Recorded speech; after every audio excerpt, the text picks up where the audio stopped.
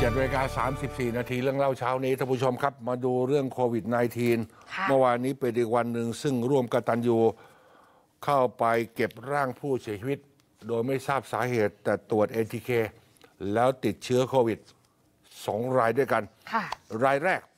อยู่ในซอยจัดสรรรถไฟย่อยย่านทุ่งสองห้อง เป็นเพศชาย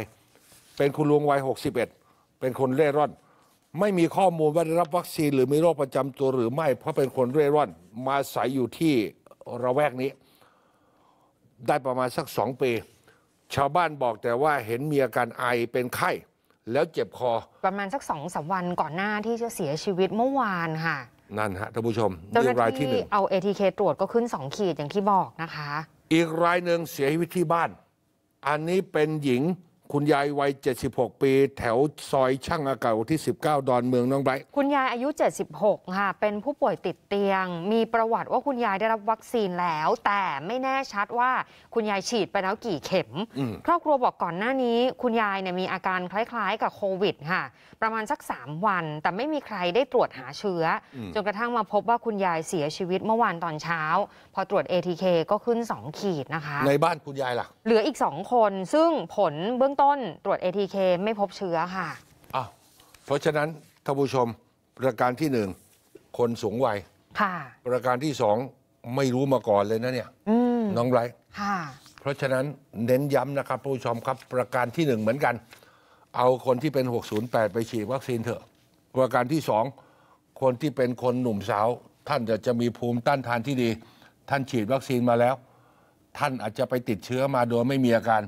และอาจจะไปติดคนสูงวัย เราต้องเน้นย้ำอย่างนั้นนะครับท่านผู้ชมครับ ขณะที่วัคซีน ผมก็มักจะถูกบอกว่าวัคซีนมันไม่ป้องกันนี่ฉีดมาแล้วห้าเข็มบกเข็มยังติด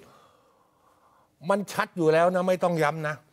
วัคซีนไม่ต้องการติดอะค่ะ ฉีดวัคซีนก็ติดได้ แต่วัคซีนป้องกันอาการรุนแรงและเสียชีวิต ค่ะ ย้ำอย่างนี้ เมื่อวานนี้มีเสียงจากคุณหมอ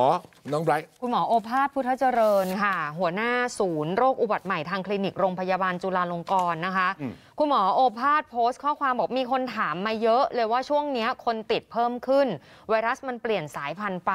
ถ้าจะบูสต์วัคซีนเนี่ยรอวัคซีนรุ่นใหม่จะดีกว่าไหมอืมคำคุณถามหมอตอบให้ว่าไม่ต้องรอนะครับ สรุปว่าไม่ต้องรอ สรุปว่าไม่ต้องรอข่าวว่าวัคซีนรุ่นใหม่อาจจะมาคือเกือบกลางปีหน้าอืมและแบบเก่ายังป้องกันได้ดีอยู่อืมบูสต์ก่อนช่วงปีใหม่ได้เลย ท่านผู้ชมครับ นี่เน้นย้ำเลยนะ อย่ารอ ไม่ต้องรอ ฉีดเลยค่ะ มันมีงานวิจัยที่กระทรวงสาธารณสุขก็บอกมีโมเดลที่เชียงใหม่จำได้ใช่ไหมค่ะ ว่ามันสามารถจะป้องกันได้ท่านผู้ชมครับ ลดอาการรุนแรงลดการเสียชีใควิตรที่ฉีดมาแล้วเกินกว่า 4 เดือนเนี่ยไปฉีดเข็มต่อไปได้เลย ค่ะ ไม่ต้องไปนับเป็นเข็มแล้ว นับ 4 เดือนใช่เป็นหลักใช่ไหมขณะเดียวกัน